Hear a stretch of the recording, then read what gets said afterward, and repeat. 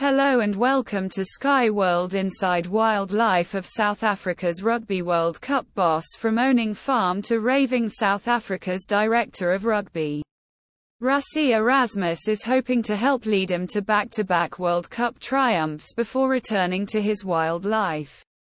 South Africa may be preparing for a Rugby World Cup semi-final against England on Saturday but don't be surprised if Rassie Erasmus is seen dancing and jiving around the Stade de France beforehand. The Springboks will head into the mouth-watering clash in St. Denis knowing they have everything to lose after winning the tournament four years ago, but their entertaining director of rugby Erasmus may feel he has the winning formula the 50-year-old watched on as Jacques Nienaber guided his side to a magnificent 29-28 victory over France to preserve their status as World Cup holders, at least for the time being. A status that Erasmus had earned when he was in the dugout four years ago.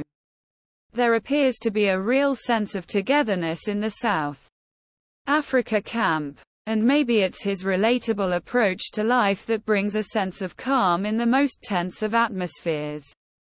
While Erasmus was still a player for the Boks, he was known to cut shapes on the dance floor perhaps more than his teammates.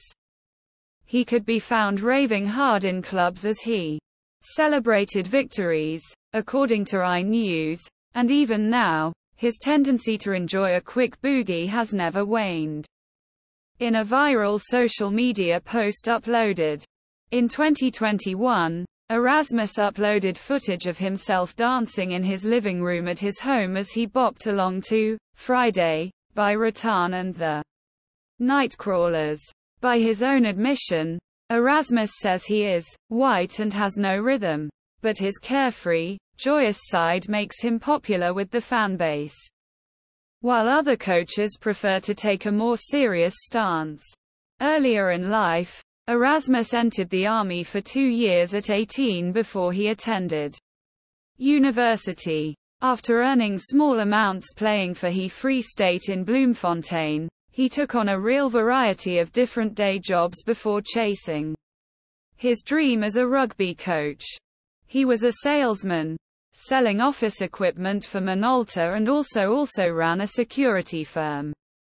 Along with that, he was in charge of a BP petrol station, a video film company and a financial services outfit. Erasmus also took pride in his cattle farm, although he shouldn't be confused with another South African also named Rassie Erasmus, who owned an eight-year-old tiger named Sheba.